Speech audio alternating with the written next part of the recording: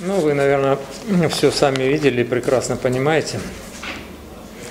Э, Удаление в первом тайме при равной игре. Э, Вот. Ну, естественно, второй тайм пришлось очень тяжело. Мне остается только поздравить соперника с победой. Вот. Но, естественно, за результат всегда отвечает тренер. Игроки несут ответственность за свои функциональные обязанности. Вот. Поэтому я, в принципе, э, человек, э, который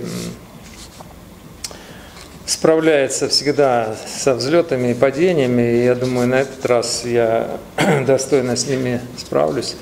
На этот раз падение.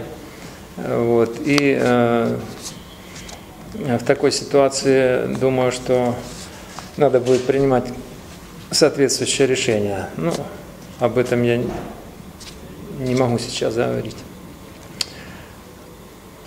В целом, вот, э, немного изменили тактику в этот раз. Э, Высокорослых нападающих сразу быстро хочется выходить вперед. Вот С чем это связано? И Как вообще вы считаете, насколько это работает?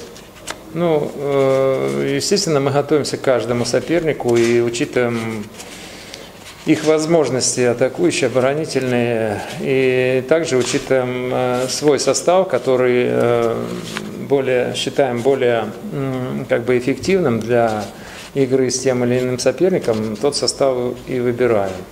И также относительно тактики. Наши болельщики интересуются, что э, центре поля в последних матчах нас играют игроки, больше нацеленные на атаку. Это Муромский, э. Ну, у нас, э, вы же знаете э, прекрасно, что у нас травмирован Чиркин, травмирован Сапаев, который в этой зоне играет опорников. Также Сорокин только вернулся в общую группу, дв- две тренировки провел. То есть у нас просто нет ресурсов. Впереди матч с Шинником. Э, Как будете готовиться? Вообще, есть ли вероятность, что кто-то из э, болеющих на данный момент футболистов сможет в нем сыграть? Не понял еще раз. А болеющие футболисты, которые в сегодняшний А. день, есть возможность, что они восстановятся в следующей игре? Команда будет готовиться к следующей игре в обычном э, режиме, но хороший микроцикл есть, время.